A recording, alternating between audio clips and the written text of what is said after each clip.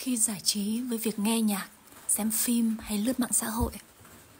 Chúng ta hãy có một cái sự quan sát và nhận biết và nhắc mình rằng đừng tin vào những gì mà nội dung của những cái ca từ trong bài hát hay những cái câu chuyện lãng mạn hoặc đáng sợ ở trong những bộ phim hay à, những cái nội dung mà người khác đăng tải về cái cuộc sống có thể là rất tươi đẹp, hạnh phúc đủ đầy của họ, hay những cái bức xúc, những nỗi căng thẳng, khổ đau, mệt mỏi.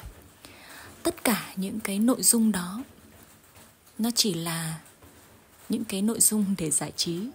Những ca từ trong bài hát có thể nghe nó rất là ngấm, rất là sâu, rất là chạm, rất là xúc động. Chúng ta thường bị ảnh hưởng và quá tin vào những cái nội dung ca từ của những cái bài hát mà chúng ta cảm thấy xúc động đó. Và tin rằng tình yêu nó phải như thế cuộc đời nó phải như thế. Con người nó là như vậy. Thực ra không phải. Những cái bộ phim cũng như vậy. Chúng ta nghĩ rằng à, lãng mạn nó phải như vậy. Cuộc đời nó phải như thế. Con người phải đối xử với nhau như vậy.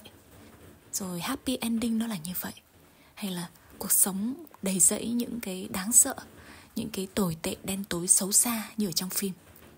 Đừng tin vào những cái câu chuyện và những cái ca từ vào những cái mà người khác đăng tải biểu đạt ở trên mạng xã hội. Tất cả nó chỉ là một cái phút giây, một cái câu chuyện nhỏ bé nhất thời.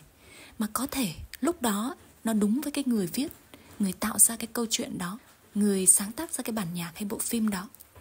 Nhưng mà nó chỉ là để giải trí mà thôi, và nó không phải là toàn bộ một bức tranh đầy đủ, trọn vẹn, chân thực về cuộc sống, về tình yêu, về cách đối xử giữa người với người hay là về cuộc đời của một người, những cảm nhận một cách trọn vẹn, đầy đủ, toàn diện mà một người trải qua trong cuộc đời.